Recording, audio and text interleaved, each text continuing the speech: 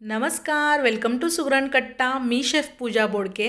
Friends आज मी तुम्हाला अतिशय पौष्टिक आणि टेस्टी असे बाजरीचे पीठ व मेथीपासून बनवलेले धिरडे दाखवणार आहे ज्याला तुम्ही पॅनकेक पण म्हणू शकता. बघू शकता कितपत सुंदर असे दिसत आहेत आणि दिसायला जितके सुंदर आहेत चवीला तितकेच अप्रतिम लागतात. बऱ्याचदा बाजरीचं पीठ किंवा मेथीची भाजी खायला मागत नाहीत मुलं तर अशावेळी ह्या पद्धतीने तुम्ही इनोव्हेशन करून देऊ शकता. तर हे बघा सगळ्यात आधी इथे मी बाजरीचं पीठ घेतलेलं आहे दोन कप. इथे मी रेग्युलर बाजरीचं पीठ घेतलेलं आहे. त्यानंतर अर्धा कप बेसन घेतलेलं आहे. त्यानंतर ह्यामध्ये आलं आणि हिरवी मिरचीची पेस्ट टाकते एक टेबलस्पून साधारण तीन ते चार हिरव्या मिरच्या व अर्धा इंच आलं ठेचून घेतलेलं आहे. त्यानंतर इथे पांढरे तीळ घेणार आहे. या तिळांमुळे खूप सुंदर अशी चव येते ह्याची. साधारण एक टेबलस्पून पांढरे तीळ घेतलेले आहेत.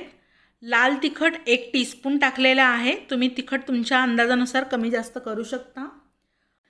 त्याचसोबत अर्धा टीस्पून हळद आणि एक टीस्पून धणे पावडर टाकलेलं आहे. चवीनुसार मीठ घेतलेलं आहे.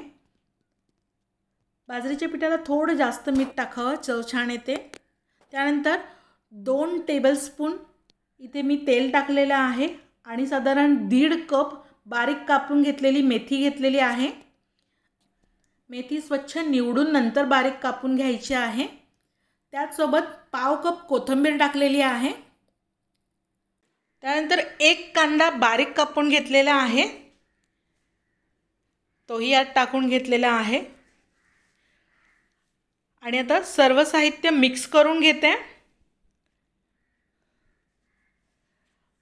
ह्याला फार काही कष्ट नाही लागत. झटपट फक्त पीठ मिक्स करा बॅटर बनवा आणि रेडी आता इथे मी ताक घेतलेला आहे एक कप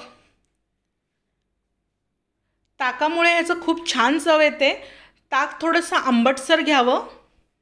त्यानंतर एक कप मी पाणी टाकलेलं आहे. तुम्ही हवं तर दोन कप पातळ ताकसुद्धा टाकू शकता. बघा मिक्स केल्यानंतर थोडंसं ड्राय वाटतं आहे तर मी आणखी अर्धा कपसारखं पाणी वापरलेलं आहे यात.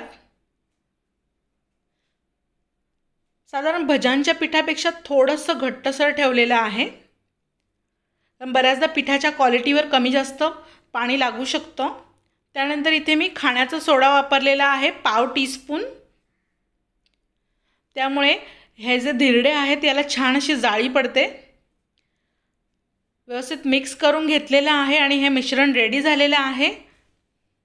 इथे तवा गरम करायला ठेवलेला आहे. नॉनस्टिक तवा घेतल्यानंतर जरा तेल कमी लागतं. ह्यावरती मी एक टीस्पूनसारखं तेल टाकलेलं आहे आणि त्यावरती थोडेसे पांढरे तेल टाकून घेतलेले आहेत. आणि त्यानंतर चमचाभर जे मिश्रण होतं हे ह्यावर पसरवून घेतलेलं आहे. तुम्हाला हव्या त्या आकाराचे लहान मोठे ही धिरडी करू शकता. पण ह्या पद्धतीची लहान धिरडी दिसायलाही सुंदर दिसतात मुलांनाही बघता क्षणी आवडतात. आता एक बाजू व्यवस्थित लालसर होईपर्यंत ह्याला मी भाजून घेणार आहे. बघू शकता वरची बाजू जरा ड्राय झालेली आहे. त्यानंतर मी याला कालथ्याच्या सहाय्याने पलटवून घेणार आहे. पण त्याआधी वरच्या बाजूने सुद्धा थोडंसं तेल टाकून घेते आणि थोडेसे पांढरे तीळ टाकून घेत आहे. या पद्धतीने स्प्रिंकल करायचे तर ते व्यवस्थित चिटकले जातात. हे बघा खालच्या बाजूने सुद्धा कितपत खरपूस असा भाजला गेलेला आहे हे धेरडं. मस्त दिसतंय ना? आणि झटपट होणारा आहे. याच्यासोबत तुम्ही थोडंसं दही किंवा लोणचं किंवा नॉर्मल टोमॅटो केचपसुद्धा सर्व करू शकता. आता ही दुसरी बाजूसुद्धा भाजून झालेली आहे. तर आहे ना नाश्त्याचा अगदी सोपा प्रकार. नको पीठ मळायला नको लाटायला फक्त मिश्रण मिक्स करा आणि झटपट तव्यावरती धिरडी बनवा. तर नक्की ही रेसिपी ट्राय करून बघा. रेसिपी जर आवडली असेल तर लाईक करा शेअर करा सबस्क्राईब करा.